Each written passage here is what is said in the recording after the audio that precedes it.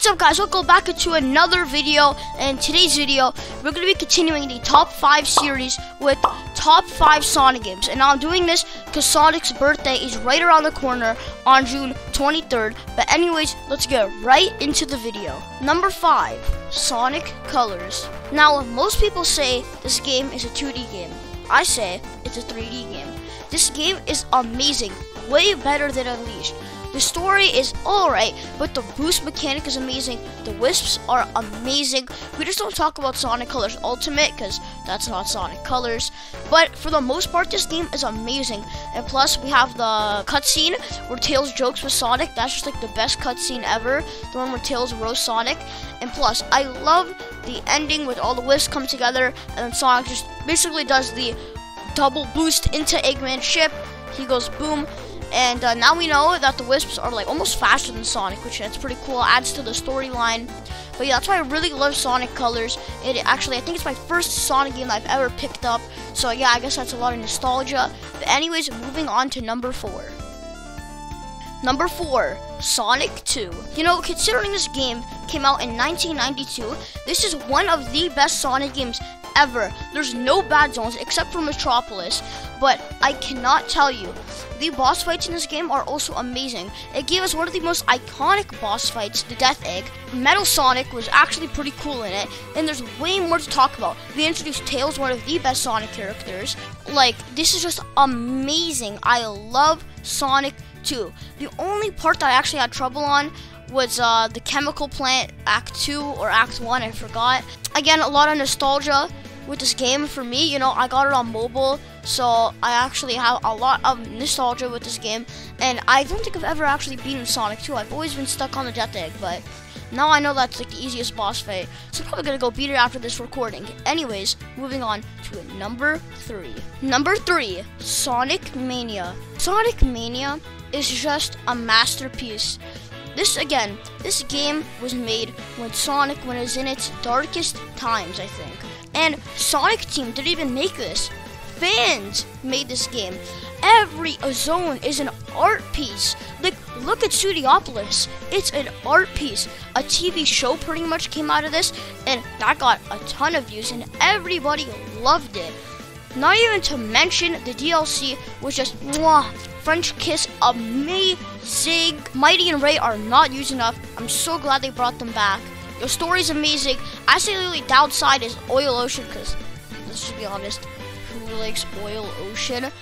And I mean, like, I do have a lot of trouble on uh, the last zone, and the boss fight is not that good, the final one. But other than that, the story's amazing. The cutscenes are amazing, especially with the art. I love the art for the game. But anyways, moving on to number two. Number two, Sonic Frontiers. Now, I'm just gonna be real with you all. Sonic Frontiers is the greatest comeback of all time for Sega. Like, I cannot express to you how good this game is. Like, it's collecting the memory tokens, to the cutscenes, to the story, to the gameplay, to the boss fights. It's just amazing. Even cyberspace is really good. And don't not to mention a bunch of free DLC, and some of this DLC is gonna be insane. We're basically gonna get another story, and we're able to play as Tails, Knuckles, and Amy for another DLC. Like that's just mind blowing. Alright? The mods for this game are insane.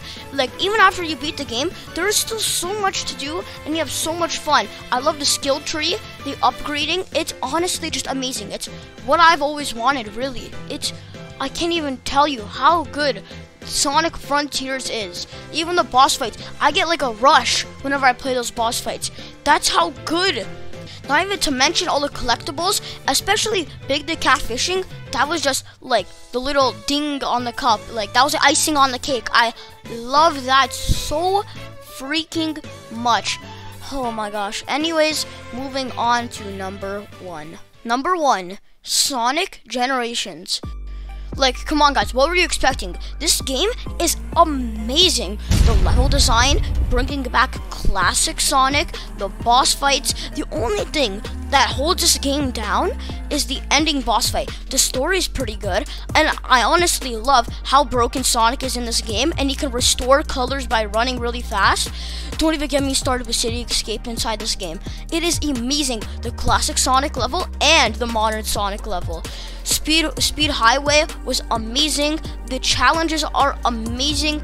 I think there's like an online mode also, which again is amazing. This is like the peak Sonic. This is just peak This is what everyone wanted. If this game is not number one for you, then like you're gonna have to like explain something to me because I do not know.